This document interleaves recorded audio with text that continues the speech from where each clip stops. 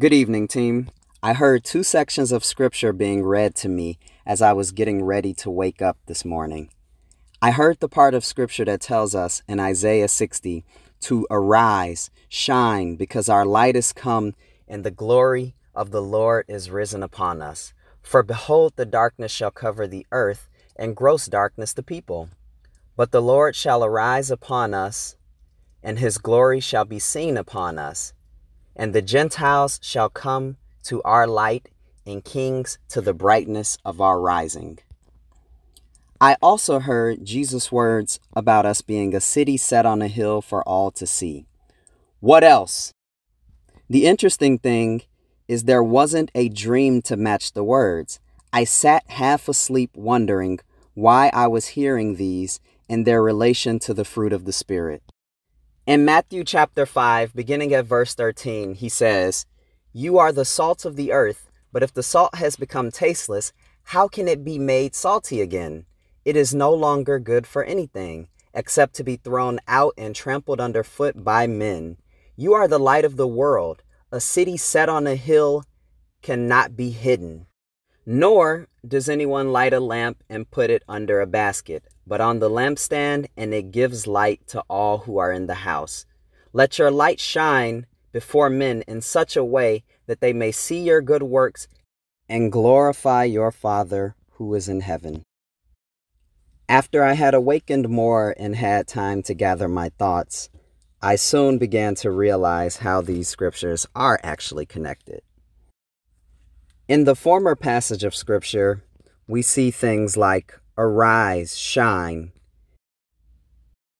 And in the latter passage of scripture, we hear Jesus' words about us being a city set on a hill.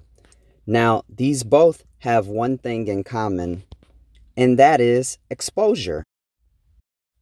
They both deal with this concept of being out in the open, of being exposed, of being shown for all the world to see.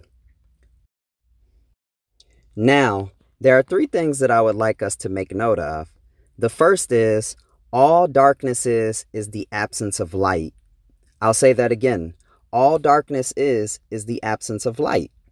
Meaning, when we view a person who is in the dark or someone that scripture calls walking in darkness, our view of them should not be one of condescension, but one of a person who has not had exposure properly to the light. Instead of viewing them as a wicked sinner who refuses to turn their heart to the Lord, let us view people as persons who have just not had exposure to the light.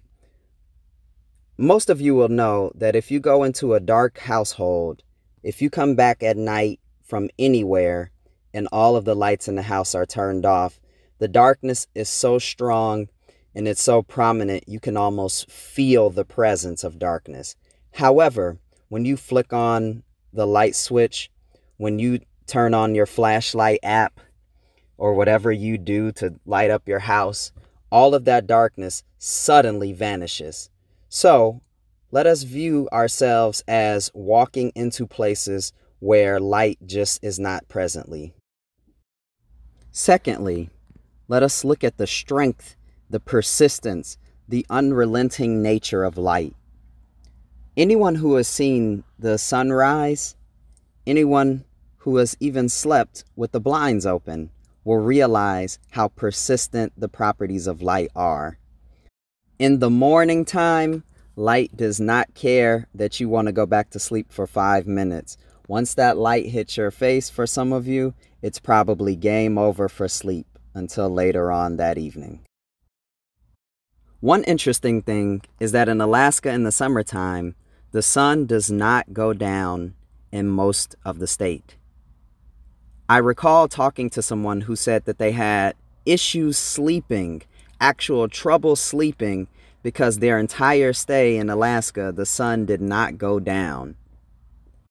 So they were literally struggling, struggling to go to sleep unless they closed the blinds, the curtains, or whatever it was. I can't remember. And finally, the limitlessness of light. Our pastor, Greg Howes, has talked to us about how God wants us to live a wide open, spacious life. And a part of living that wide open, spacious life is understanding the limitlessness of our light. For too long, we have viewed our light as a tool to get others into the kingdom of God, a sort of way to woo people to gain as many souls as we can before we leave earth. Now, don't confuse my words. He who wins souls is wise, is what the scripture declares. So there is very much a utility and a necessity to the winning of souls.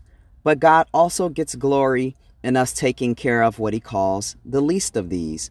So that means if a homeless person gets food that day, if somebody is protected or rescued from some form of imminent danger, God also gets the glory out of those situations, even if that person that day doesn't confess and give their life to Jesus.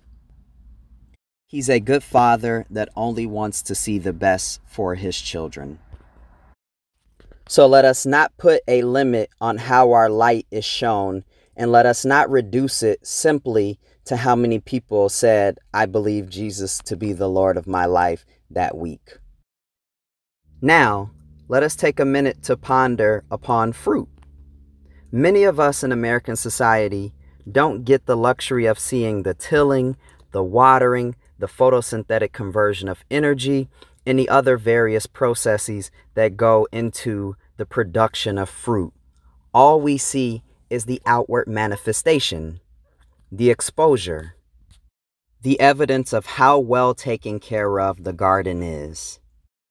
But let us look at the fruit not as an exam that we need to pass, but as a measurement for where God can bring growth to our inner spirit and brighten our external selves.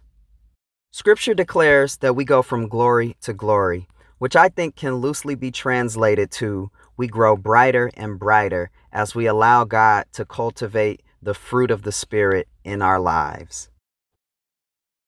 It is important that we look at the fruit of the Spirit not as a salvation rod, but as a growth evaluation. Let us not look upon one another trying to find out if we are actually Christians because we don't see patience in a person, long suffering in a person, meekness in a person, but rather let us look internally and find out if we have enough kindness. If we don't, let us ask God for an increase of kindness. Whether or not we have enough meekness, if we are not humble enough, God, let me not look at myself more highly than I ought. In sum, let us consider the exposure of the fruit and the glory that we carry as believers. God puts us at the forefront to show people, as scripture calls it, a more excellent way. Although it's nighttime and dark, arise and shine. I charge you, for your light has come, and the glory of the Lord has risen upon you.